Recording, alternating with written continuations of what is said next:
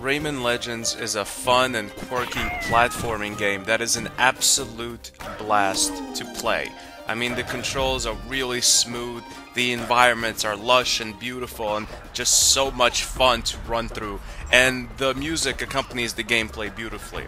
You don't just play as Rayman, you can play as a bunch of different, um, people Question mark? I don't know. You know, every few years I say I feel sorry for kids in this generation. When I reviewed a game that was primarily made for kids in like 2007 or 8, I always used to say these kids are missing out. The fact is, in the 90s, we had it best. And playing a game like Rayman Legends now in 2014, I kind of no longer feel comfortable saying that. I mean, I wouldn't have minded growing up with a game like Rayman Legends and Ni no Kuni when I was a kid. These games will undoubtedly become just classics kids today will remember for their entire lives. And no, Rayman Legends is not a game just for children. I mean, the difficulty is on the easier side and it's colorful and happy. It's definitely a great game for kids to play, but really adults can enjoy it too. And like I said, the levels are just beautiful and wondrous, and it's something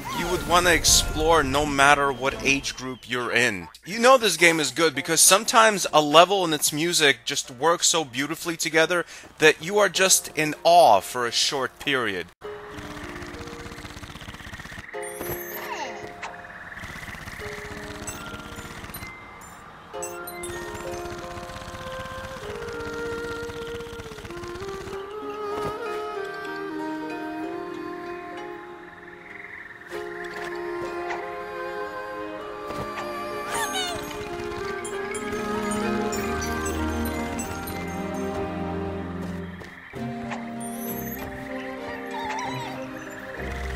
Rayman games are just getting better and better, and that's not something I could say for some of the other popular platforming characters I shan't mention. Maybe a few popular Nintendo characters. Nope, I've said too much. In terms of controls, like I said, there's a great fluidity to the gameplay, and Rayman can do a bunch of different things, from bouncing on walls to dive bombing, to his trademark super strong punch, and also just using general things in the environment to progress. And like I said, you don't have to play as Rayman if you don't want to. There's a lot of variety here. My favorite character to play as is this Viking chick because she has a giant axe, and I feel like a dwarf. There's a certain finality about destroying an enemy with an axe versus just punching an enemy. When you hit someone with an axe, you feel like you really got them, Like, they're dead.